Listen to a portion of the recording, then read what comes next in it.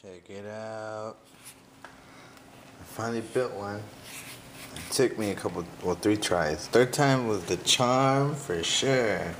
Check it out. I got me a little bubbler. This is my uh, hydrogen and oxygen mixture. This is a crude version of it. Uh, I actually want to separate the oxygen and hydrogen. Right now I'm just separating it and then it's forming into gas, but together. That's not what I want. I want hydrogen and then I want oxygen. So this is how basically how it goes. Power from my uh, huge battery here, 6 volt. Uh, passed through the wires.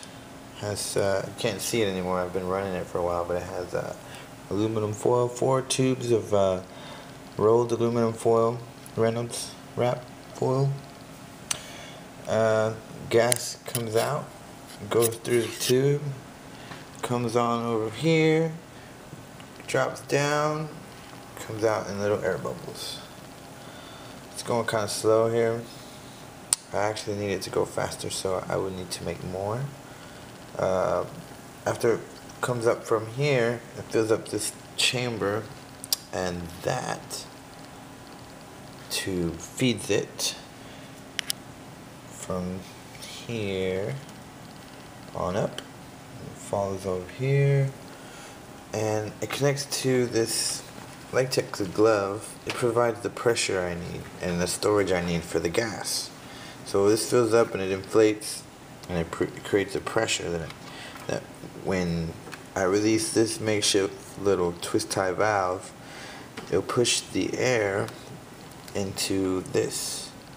And this tip will force the air out at a, very high rate. And when I light it, it will light up like a, a little torch. And I'm not sure what it could burn through yet. Uh, and I can't take full credit for this design. Well, this particular design I made, but I gathered information for a few days about the whole thing, the whole process, and and I've always wanted to recycle my water bottles, and uh, now I can recycle them by using this process. And I hope to use this fuel to do many things. Cook, weld maybe, torch, I don't know. Maybe glass sculptures or metal sculptures or something like that. You can do a lot of things with this. Cut things. Alright, so I'm going to try to demonstrate this uh, hydrogen little hydrogen torch. Hopefully I don't blow myself up. I'm gonna burn the wood because I don't have enough fuel to burn through anything more than that like aluminum or something. So, in order for me to demonstrate it with the fuel that I have, I need to find a better way to store this stuff. Alright. Here we go.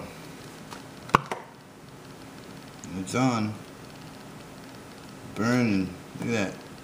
Oh. That's it. That's all the fuel I had.